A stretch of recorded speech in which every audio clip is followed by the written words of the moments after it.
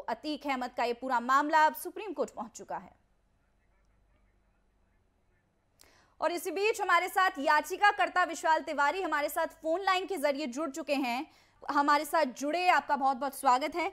आपसे मेरा पहला सवाल ये रहेगा कि माफिया डॉन अतीक अहमद की हत्या का ये पूरा मामला जिस तरह से अब सुप्रीम कोर्ट पहुँच चुका है, आपने याचिका दाखिल की है और इससे जुड़ा क्या कुछ आपने मांगे सामने रखी हैं? क्योंकि आपने कहा है कि पुलिस कस्टडी में जिस तरह से हत्या कर दी जाती है तो बेहद अहम ये अपने आप में ही जानकारी हो जाती है और सवाल कहीं उठते हैं।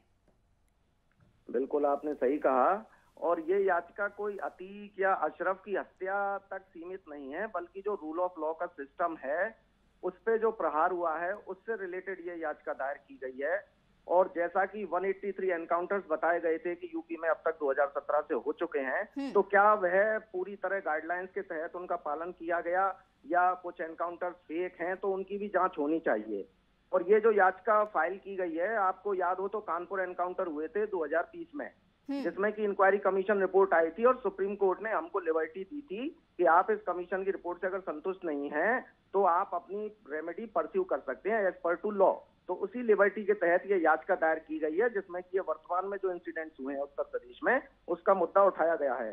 तो पुलिस कस्टडी में हत्या हो जाना या किसी भी तरह से जो माहौल बनता है तो उससे ये लगता है कि अपना जो जुडिशियल सिस्टम है उसको वीकन किया जा रहा है जो कि नहीं होना चाहिए। तो उसमें यही मांग की गई है कि एक एक्सपर्ट कमेटी कॉन्स्टिट्यूट की जाए कि जितने भी एनकाउंटर्स हुए हैं सिंस 2017 उन सब की इंक्वायरी हो इंडिपेंडेंट इंक्वायरी हो और उसको हेडेड किया जाए former retired supreme court justice द्वारा।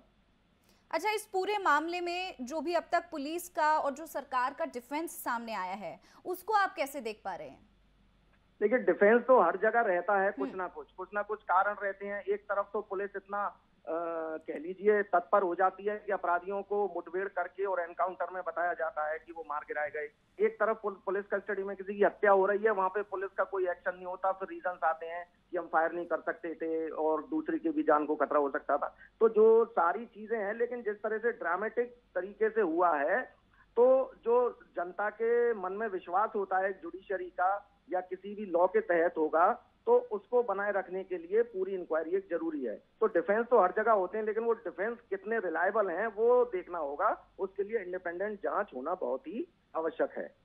जी बिल्कुल ज़ाहिर तौर पर सभी के मन में ये सवाल भी उठ रहे हैं कि पुलिस कर्मियों की मौजूदगी के बीच बिल्कुल सिर पे सटाकर गोली मार दी जाती है। जब आप और हम दिन की चहलकदमी के बाद सोने की तैयारी कर रहे होते हैं तो ऐसी घटना घटती है ऐसी चौंकाने वाली खबर सामने आती है।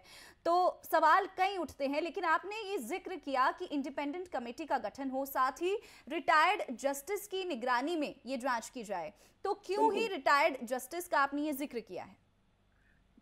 कानूनी जो पेचीदगियाँ होती हैं वो ऐसी होती हैं कि हम्म। उसको एक जो लीगल फ़ील्ड में व्यक्ति रहा है और सुप्रीम कोर्ट के रिटायर्ड जस्टिस हैं वो उन चीज़ों को बखूबी जानते हैं हम्म। क्योंकि वो पूरे एक्सपीरियंस्ड होते हैं वकालत की हुई होती है फिर उसके बाद हाई कोर्ट में भी जज रहे होते हैं उसके बाद सुप्रीम कोर्ट में भी रहे होते हैं कॉन्स्टिट्यूशनल जो वैल्यूज़ हैं और जो फंडामेंटल राइट्स हैं कहाँ उनकी अनदेखी हुई है और कहाँ पर कितना पुलिस ने अपनी पावर को एक्सीड किया है, वो सारी चीज़ें एक इंडिपेंडेंट इंक्वायरी में ही आ सकती है।